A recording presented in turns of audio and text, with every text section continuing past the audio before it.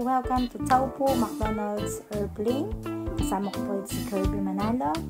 At narito po kami sa coolest McDonald's in the world. So, tara po, natin po natin ang kanilang aeroplano. Habang naakyat ko ay si Kirby po ang magbibideo. Pasensya na, medyo ma mabagal pa po ako kumilos. And then, ang McDonald's na to po ay located sa Taupo, nagiging ah, isa sa sikat na mga pinupuntahan dito sa New Zealand. Ah, naging famous siya dahil naglagay po sila ng aeroplano. Pwede po rito kumain ang 20 diners po pwede ang capacity. And then, yan, tuntua po yung mga bata dito.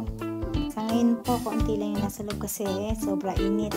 Wala siyang aircon. Pero kasi dito sa New Zealand, summer po ngayon, kaya sa aircon. See, nakakit po ito ng mga mga bata, nanay.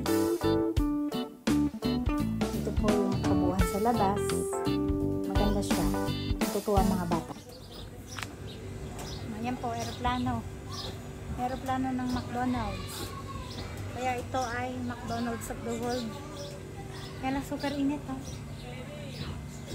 Pwede kayong kumain sa loob, kaya lang sobra init.